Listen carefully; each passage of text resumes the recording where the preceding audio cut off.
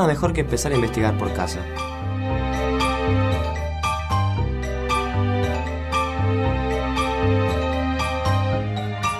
Aunque es difícil ver con ojos nuevos lo de todos los días.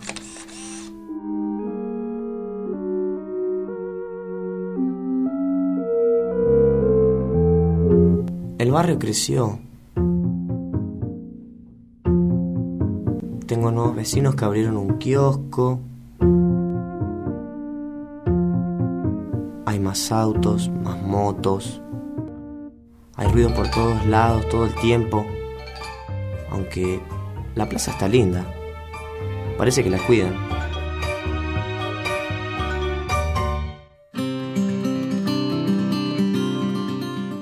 Los espacios que habitamos se diferencian por sus formas de organización social, política, cultural y económica. Hay sectores urbanos donde la población se agrupa en construcciones continuas, mientras que en las zonas rurales la gente vive más separada. Lo urbano se asocia con la ciudad y lo rural con el campo.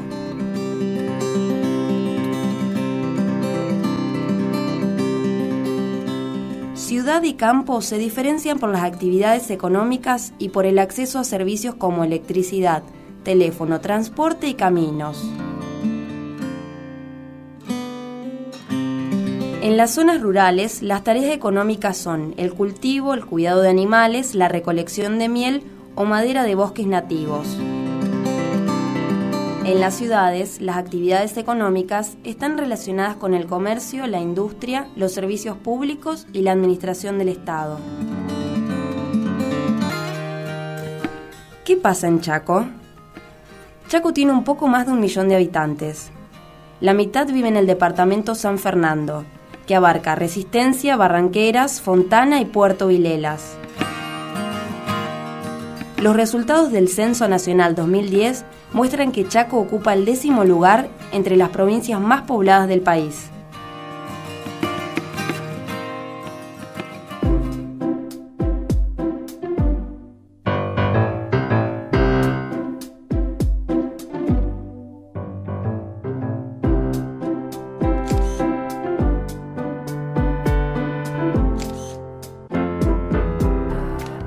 Mundo las ciudades fueron creciendo en forma constante, pero a partir del siglo XX se produjo un acelerado proceso de urbanización.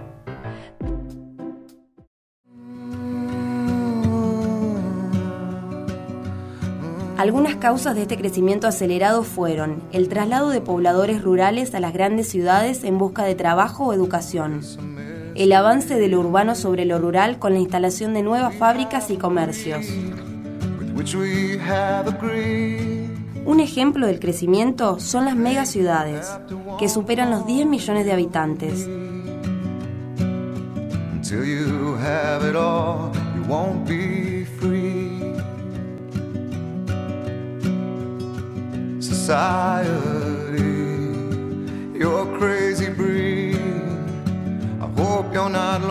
Están en varias partes del mundo y nos dan una nueva perspectiva de la ciudad.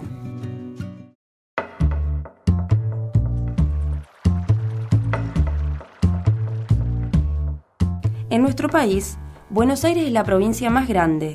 De cada tres argentinos, uno vive en Buenos Aires. En esta provincia se realizan las principales actividades económicas y de administración del Estado. Por eso es el mayor centro poblacional de la República Argentina.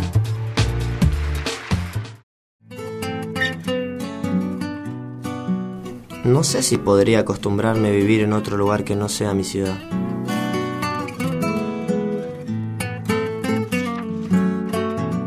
Las ciudades son creaciones complejas.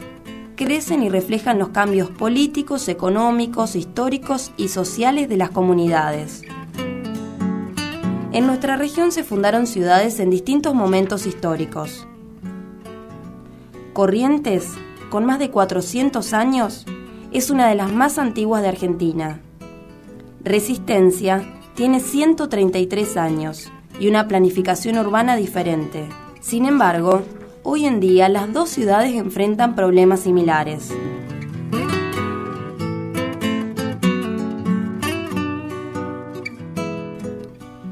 En las últimas décadas, corrientes y resistencias se expandieron por necesidades de la población. Ese crecimiento de los espacios urbanos trajo varias consecuencias, desde desigualdades sociales hasta la destrucción del medio ambiente. Yo vivo en una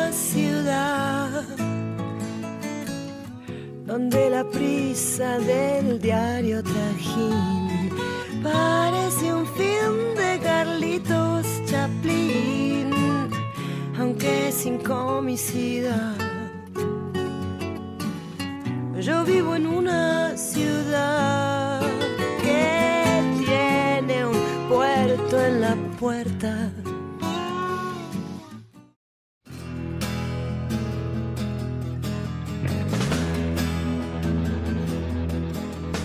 loco pensar en mi barrio. Si nunca le presto atención.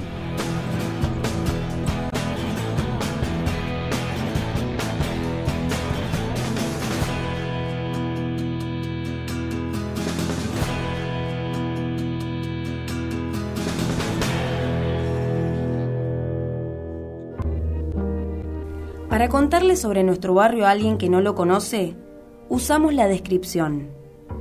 Describir es utilizar el lenguaje para contar y explicar cómo son las personas, los animales, las plantas, las cosas que están cerca nuestro. Por ejemplo, qué colores hay, qué olores, cómo son los sonidos, los tamaños de las casas y las texturas.